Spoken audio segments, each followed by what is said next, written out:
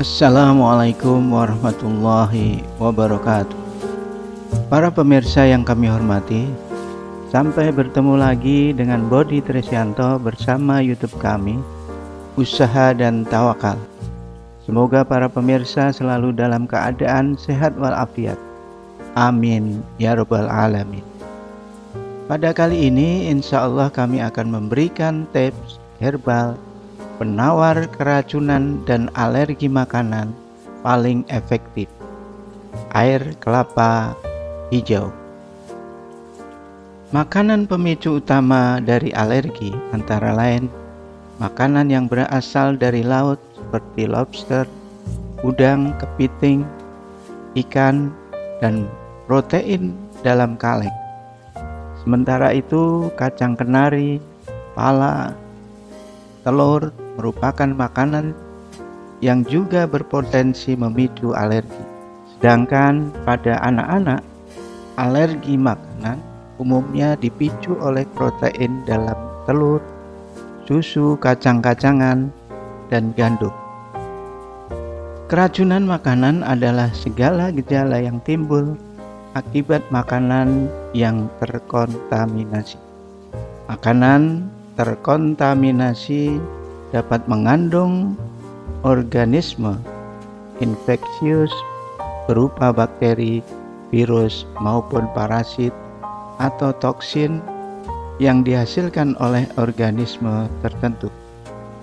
Organisme infeksius atau toksin dapat mengkontaminasi makanan pada segala titik dari mulai proses produksi ataupun distribusi suatu makanan.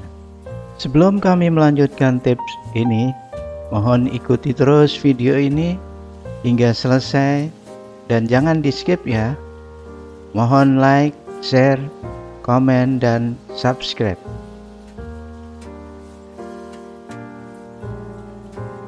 Gejala keracunan makanan beragam bergantung pada sumber kontaminasi, keracunan dan alergi makanan dapat menyebabkan beberapa tanda dan gejala sebagai berikut. Antara lain, muntah, mual, diare, nyeri, kram perut, demam, sakit kepala, kehilangan selera makan, badan terasa lemas, timbul bentol-bentol atau gatal, atau biduran. Cara mengatasi keracunan dan alergi makanan cukup murah dan mudah didapat di lingkungan kita. Yang pertama, kita siapkan satu buah kelapa muda hijau.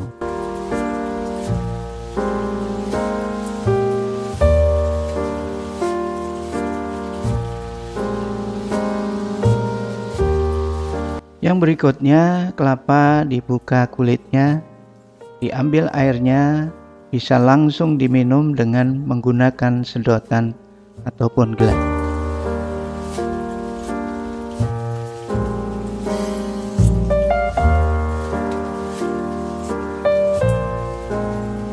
Air kelapa muda hijau diminum pelan-pelan hingga habis sampai terasa kenyang.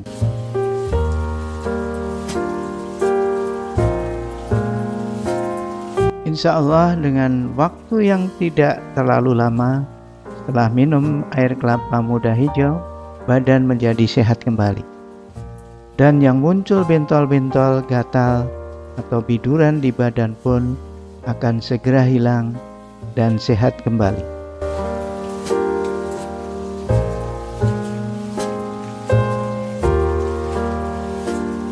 Jika minum sekali belum sembuh, maka perlu minum air kelapa muda hijau lagi sampai total sembuh.